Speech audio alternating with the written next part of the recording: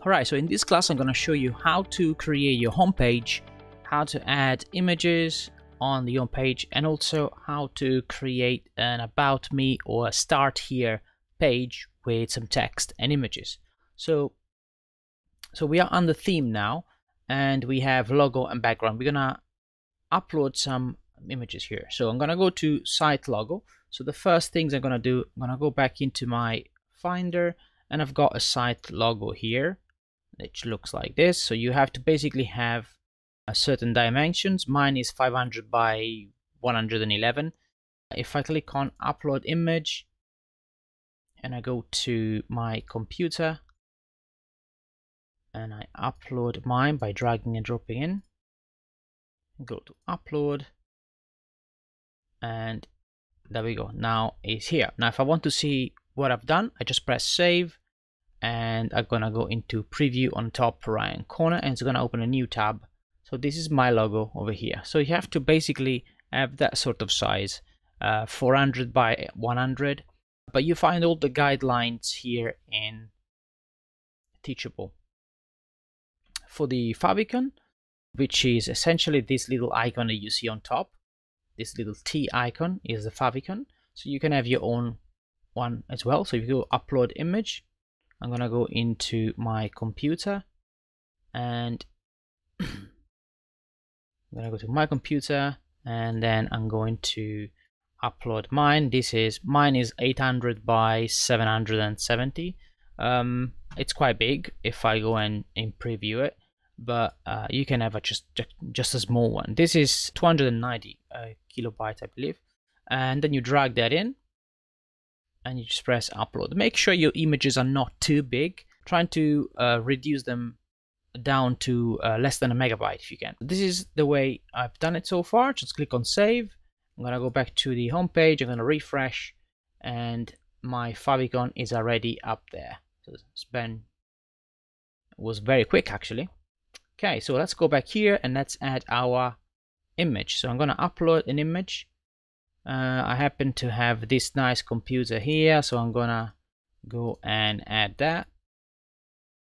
And by the way when you go to a custom source here you find also a lot of nice images that you can use as well. I use mine for my Meijin Academy school so if I I'll show you how it looks. It looks like this. So basically I've done my logo I've, I use that image and I've got this nice background and I've got all my courses here and I've got my menu on top.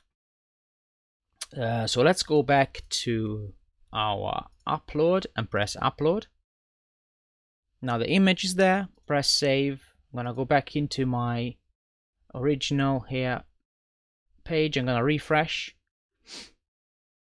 It's good to have a reference so you know what, what you're doing. Okay, probably this is the homepage background dark overlay is at, is at 1. I'm gonna just put it at 0 that one is the transparency. And I'm gonna go see how it looks now.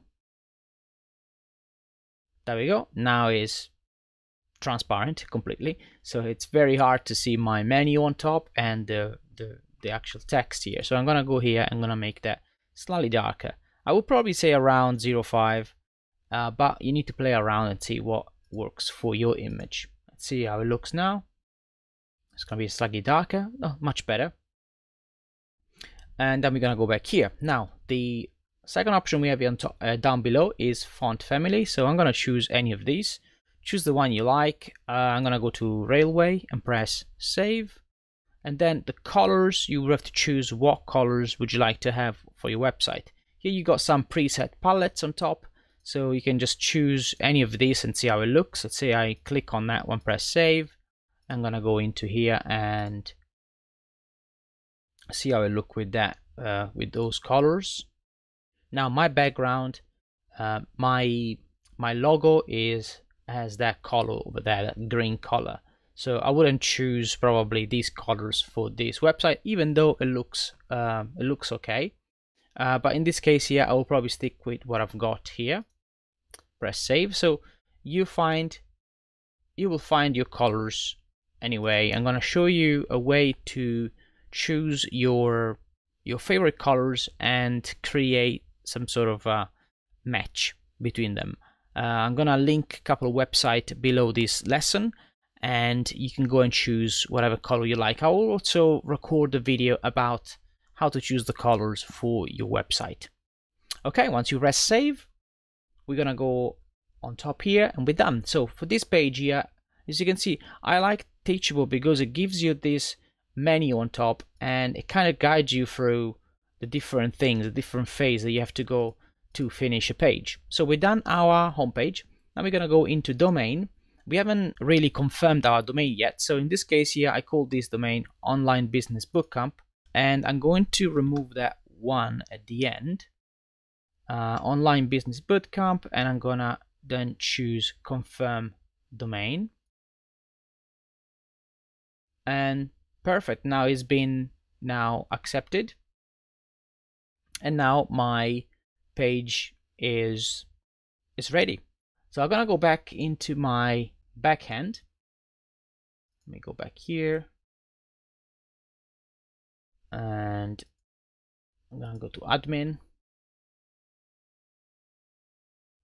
And then I'm gonna go back into my site domain my domain now has been accepted.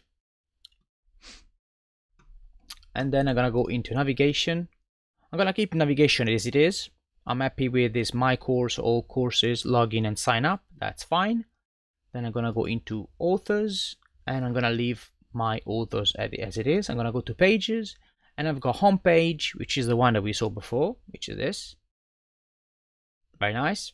Uh, then I've got my privacy policy and terms of use but I'm gonna add another page we're just gonna call it start year page. So click on the top right and then we're gonna add start here.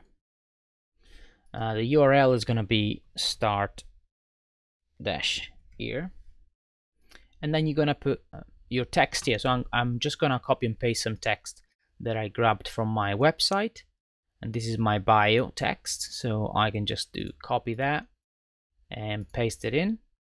Now if you want to see how it looks on your website all you need to do is simply go create page. And then we're going to go into preview. And then the page is going to look like this. So it automatically laid your text this way in the center. So let's go back here and let's uh, for instance, add some text in the middle here. Let's have a look. I want to have some images, let's say, after this text. I'm going to press return there, and I'm going to go on top here. Now the, now, the beauty of Teachable is that you can customize your text as much as you want here. So you got all these options on top. I'm going to go to add image, and I'm going to go back to my media browser here, and I'm going to add another image. Let's see where the other image is. Okay, let's say I'm gonna choose that one. Okay, I found my images, I'm gonna choose that, I'm gonna drag it in. And here I've got the option to crop it, so I'm gonna crop the image. And make sure it is cropped right up here. Click on save. It's now going to it's going to upload the image. Okay, the image is in. Now we're gonna click on save and we're going to going back to our start here page and refresh. And now our image is being added to our text. Now if I want to have it down below there I can go and delete this image. And let's say I want to have it there. I'm gonna go into my browser and drag the image there again. And just minimize that makes it smaller. Click on save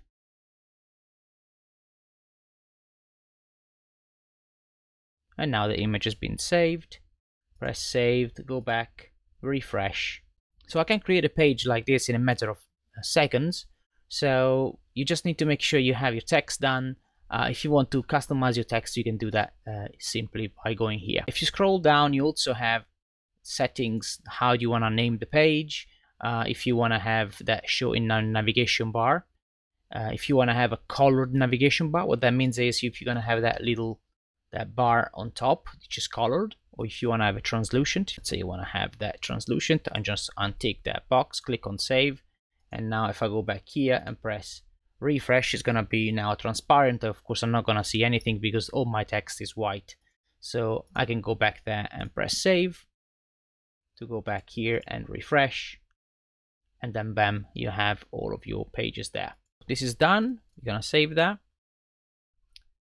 and then we created our page. So we're gonna go back into page to refresh and now our start here page now it's here. If I click on publish now the page has been published. So now I can go to navigation.